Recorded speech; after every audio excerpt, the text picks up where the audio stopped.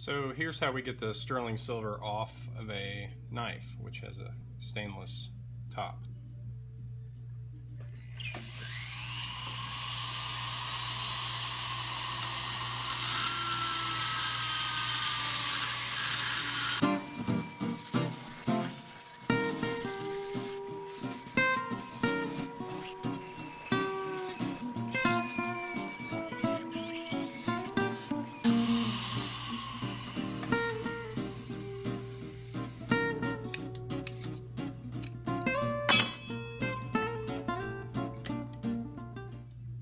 These are a little tough because they have a really big lead base. You got to peel it off.